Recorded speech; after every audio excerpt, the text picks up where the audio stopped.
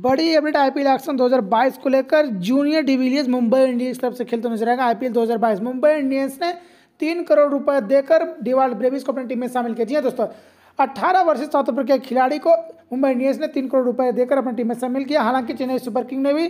दाव लगाया था लेकिन यहाँ पर सबसे ज़्यादा रकम तीन करोड़ रुपए देकर मुंबई इंडियंस ने डेवाल ब्रेविस जो कि जूनियर डिविलियर्स के नाम से जाना जाता है उनको अपनी टीम में शामिल किया चैनल से जुड़े रहे अगले अपडेट तक अगला अपडेट आपको जल्दी मिलेगा जय हिंद